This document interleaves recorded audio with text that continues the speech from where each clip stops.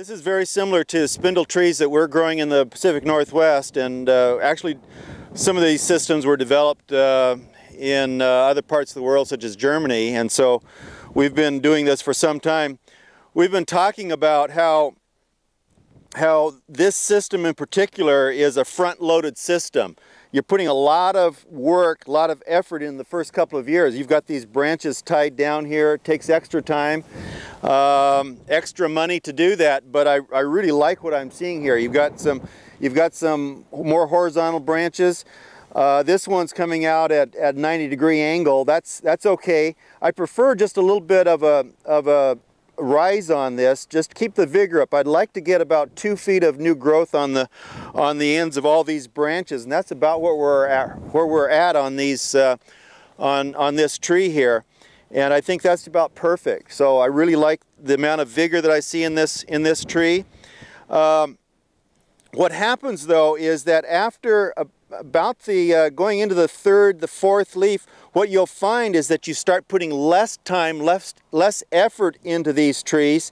And by the time these trees are mature, they're one of the fastest trees to prune. And so even though you're putting extra time in at the beginning developing this tree, by the time this is a mature tree, our, our pruners are finding that they can get through a, a um, uh, a spindle tree like this, a spindle tree orchard like this, in about half the time that they can in some of the other systems that we're, that we're using, some of the steep leader or even the KGB uh, systems that we're using out there. And so it's front loaded. Um, our growers started to, to, to use this uh, system a number of years ago. But we've got, we've got big orchards. Most of my growers have 200 acres, 400 acres of just cherries.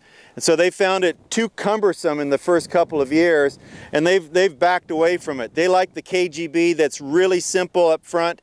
You spend very little time initially establishing the, the, the trees, but you put a little bit more time in when it's mature because you have all of these uprights. So every, every upright has to be dealt with with a KGB system. This we're going to do uh, just very little pruning on this right now because this thing is just coming into production and the fact that this is Regina, I don't want to I don't want to dis disrupt the um, the flowers that, that are that are coming on this. I want this to, to flower more. Uh, Regina has a very short ovule longevity, which means that you just don't get a whole lot of fruit, uh, even though you have masses of flowers on, on the tree. So the more flowers we have, the better. If I prune this too hard at this stage, I'm going to just cut back on the amount of flowers I have, and so we'll just we'll just keep it uh, keep a light pruning on on a tree like this that's just coming into production. So what we've got then is uh, is a number of really nice branches here. I've got upright here. I don't really want that, but I'd like to stay keep those flowers because we'll get our best quality flower, our best quality fruit from these axillary, axillary buds down here. That's what Greg was mentioning earlier. These are going to be our largest cherries, our firmest cherries, and our sweetest cherries that are grown off of these, these buds at the base of one-year-old wood. That's what's so nice about this SSA system is that's the only fruit that you have is are, are those big cherries at the base of the one-year-old wood. You cut everything off. Everything else is, is, is removed. So the spur the spur flowers or the spur fruit, which tend to be just a little bit smaller, you don't even deal with that with the SSA. And um, we can take advantage of that type of fruit on even this system by any time we have an upright like that, we'll just cut it back and uh, we'll take the fruit off of it, but we won't, this will be very temporary. Next year we'll, we'll, we'll prune that off and, and remove it. So there's a couple of opportunities like that where we have chance to, um, to take advantage of that type of fruit there. Um, coming over here, I'll probably just uh, allow this branch to, to remain here and take that off there. I want to uh, single out some of these. This would be nice if this were down a little bit further, but it's not. It, it should be okay for a while. Eventually I'll want to come in here and stub this back and get this a little bit uh, more horizontal because it's, it's going to be a very strong um, competitor, I'm afraid, at this, at this angle. But we can leave this for another year or two, and then something's going to have to be dealt with it. By, like that was tied down with the growth. Yeah, right, exactly. And so we've got, we've got a little bit more upright than what we really would like it to be. Um, Regina uh, branches fairly readily, so we may get a, a, a, branch off here that we can use in a year or two, then we'll just cut back to it and have another branch come out. If we don't get that, we can stub it off and we can take what we get, get from there. So we'll just have to wait and see. Um, I think I would like to, because this is so strong, I'm going to cut this back to a weaker side branch there like that so that I don't uh, have so much competition.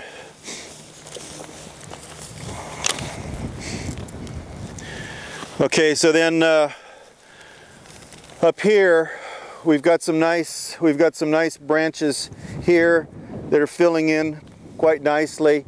The top, you said you want this maximum of seven feet tall? Somewhere in there. Seven, seven eight feet. So, so you, you, you like this mostly a pedestrian orchard then? That's what I'd like to do. Yeah. Okay. So, again, this is the strongest branch right here. A little bit. Uh, if we're going to keep this at seven eight feet, I'd like it to start slowing down at the top. So I'm going to cut that off because it is stronger. We'll take this then as our as our uh, new leader. These branches here are, are pretty strong. So I'm to take that off. Take that off there and there may be some new branches. Here's a, I've got a uh, vegetative bud right there that will come out and uh, probably, probably remove that there as well.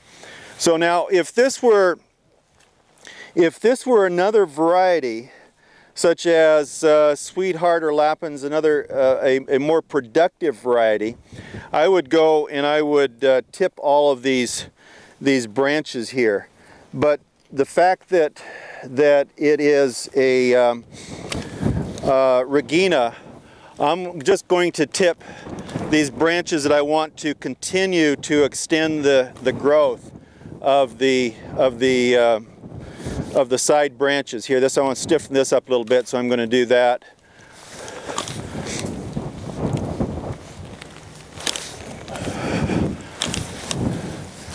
And uh,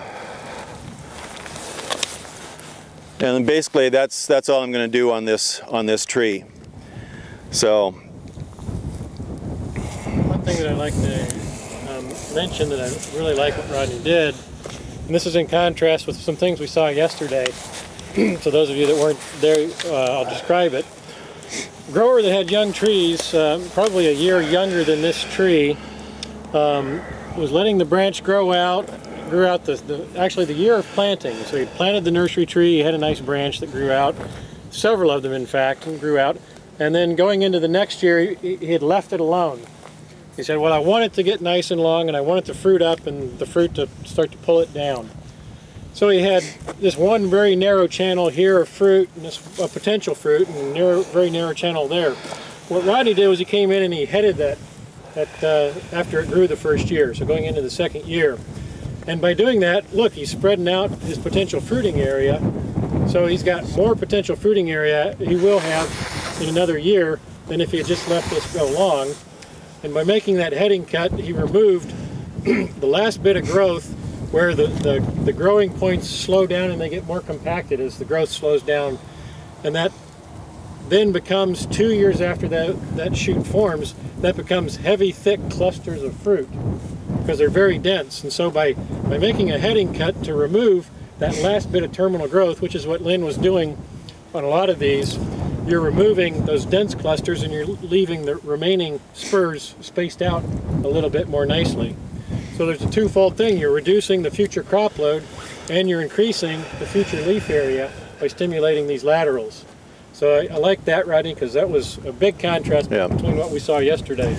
And, and if you're growing, again, if you're growing a, a productive variety such as Lapins or Sweetheart or Chelan, you'll, you'll do that with all of the, of the, of the branches because if you don't do that, you get a mass of, of, of fruit up here and you'll get more fruit down here and the, the, the tree will stop growing then and you just can't have that. So So uh, we don't see any good example of it on here. We may see it as we get into Yeah, we probably will.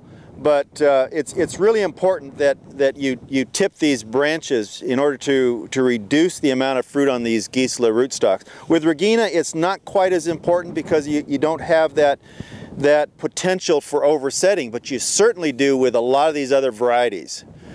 And with, with a Gisela rootstock or any of these productive rootstocks, really what you need to be thinking in the back of your mind when you're pruning these things all the time is how do I reduce the amount of fruit on, on this uh, tree?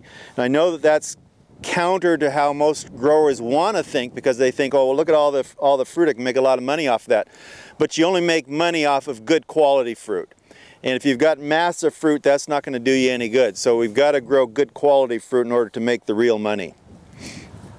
Then would you do anything with that uh, leader for stimulating any lateral branches or just Well, the fact that it's the fact that this is Regina and it tends to branch fairly easily, I, and he's he's talking about this being uh, like to keep this seven eight feet tall. Well, so where are we? So we're already at eight feet. So I didn't want to stimulate that um, that that branch, and so I've I've left it. It'll fruit up. It'll slow that down a little bit, and you'll we will we should get some branching off of that because it's Regina. Uh, if it had been Bing or some some other varieties that don't that doesn't branch real well. Uh, you, you may not get a whole lot of branching, but uh, I left it because one, it was Regina, and two, because you said you wanted this maximum height of seven, eight feet. It's already there, you're saying as opposed to doing what? As opposed to tipping it, as opposed to tipping it. Right. Yeah, Would you? I wouldn't tip it either. yeah, I think it's it's good to let those terminals go even above eight feet yeah, as the rest of the tree fills in. right, And as the rest of the tree fills in, then you, you can come back and limit that. yeah. But I was wondering if you would uh, consider using Promalin on that uh, leader to get branches. Well, I- I'd say in general, Yeah, whether yeah. it's Regina or Yeah. something else, or, or the bud removal that we had talked about. The bud removal r- works really well. Um, I've I've seen this. This is a this is something that was uh, uh, pioneered by Greg when he was at Washington State University. Uh, we saw it a lot when Greg was there. I haven't seen it so much since Greg has left because uh, we've gone in different directions. But it, it does work really well, and I'll let I'll let Greg show you how that's done because it would be good for this. We would more likely in in Oregon or even Washington now because like I said Greg has kind of moved on and, and we've we've focused on other things. We would more likely treat this with Promalin which has the added benefit of stimulating more more flower production early. So if you use Promalin you get a, a, a additional precocity because of the use of the of the chemical and there's a couple of ways of doing that. You, you do this at, uh, at green tip, but you can make a, a scoring notch and paint the Promalin into the notch, or you can use a, a product called uh, Pentrabark, or there's a Wilbur Ellis product called um, something seal, I can't think of it, it's a, it's a surfactant anyway, that, that actually takes the Promalin through the bark and you don't have to make the, the notches. And what that does is it, it eliminates the potential for bacterial canker, uh, Pseudomonas getting into that wound. And so it makes it really simple. You just have to, you just have to band the Promalin and the pentrabark in this area, 12 inches down, you do it again, 12 inches down, you do it again, and this whole area will, will it'll stimulate branching in this whole region here. And plus you get the added benefit of the additional precocity from that. Yeah, uh, the Promalin tends to create very weak branches. Very flat. Those will have flowers at the base of those branches. Right, right. But uh, the cherry naturally wants to grow strongly at the highest point of its growth. I think we've talked about this in years past. Cherry is a nursery, I mean, is a forest tree. So it needs to compete in a forest environment and compete for shade and light. So it grows tall as fast as it can. And the next year, its strongest growth is up here to create shade and shade out the competition below while that terminal extends. So as we try to make pedestrian orchards, we want to change the whole way the cherry tree tries to grow. So knowing that these buds are going to be the strongest, the top four or five, we remove those. And so we've eliminated the ones that want to be the strongest. Now these are still going to want to be relatively strong since they're the next ones left. So we can remove one, two, or three, leave one that direction, leave one this direction. And I'll take two away, leave one that direction, take two away, leave one that direction, take three away, leave one here. There's, there's no magic number of three of four, two of three, or whatever. What you want to do is try to orient the buds to grow out so you have a nice whorled pattern down the tree. And you can do this with a nursery tree.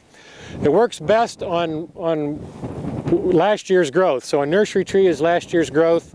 Or the second year in the orchard, when you've got another extension of four feet, you can do it on that top four feet. And that will generate uh, buds to grow just about everywhere you leave one. You're removing 60, or you're removing more like 70 to 85% of the buds, and the remaining few buds that are there will grow because the tree wants to push something out and grow. So I've got them spaced around pretty nicely here. Something like that. So I'd uh, end up hopefully with one, two, three, four, five, six, seven, eight branches on this segment, plus the terminal growing intact.